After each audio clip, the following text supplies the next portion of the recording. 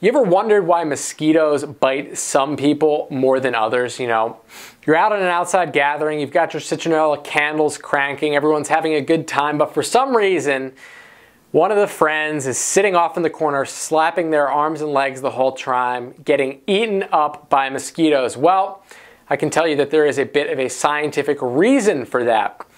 So mosquitoes are stimulated by a number of factors when they're seeking out a bug meal, a blood meal. Initially, they're attracted to the carbon dioxide that we exhale. That's how they end up near us.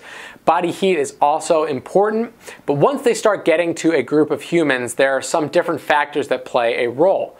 Some studies have suggested that your blood type, whether you're pregnant or whether you're drinking beer, all make you marginally more attractive. But the money shot when it comes to this research is actually the mix of up to 400 chemical compounds on human skin that could play a role in attracting mosquitoes.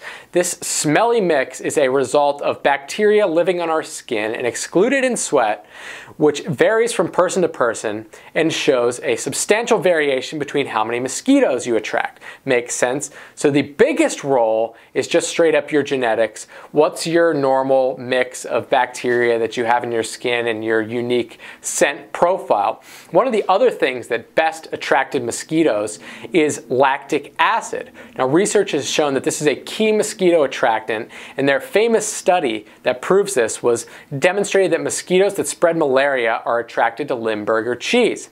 The bacteria that gives its cheese its distinct smelly, smelly aroma is closely related to the germs living between our toes, which means that that is why you know, mosquitoes are often attracted to smelly feet.